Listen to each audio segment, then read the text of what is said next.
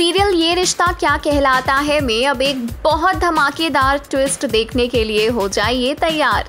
आपको बता दें कि कार्तिक और छोरी की खोज में अब नायरा पहुँच चुकी है एक मंदिर के पास, और इसी मंदिर में कुछ दिनों तक नायरा रहेगी भी, जब तक उसे कार्तिक और छोरी का पता अच्छे से नहीं चल जाता। इसी मंदिर में होगा नायरा का गुजारा। वेल well, इसी के साथ कहानी का ट्विस्ट ये है कि अब अपनी बेटी को जन्म भी नायरा इसी मंदिर में देती हुई नज़र आएगी।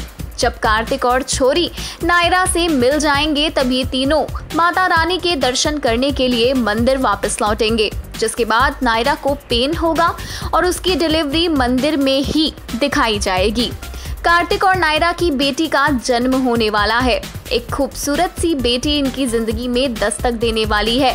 छोरी के चेहरे पर स्माइल आने वाली है इस प्यारी सी बेबी को देखकर। और अब कार्तिक, नायरा, छोरी के साथ सिर्फ़ छोरी को ही लेकर नहीं, बल्कि अपनी छोटी सी बेटी को लेकर भी गोइनका हाउस जाएँगे।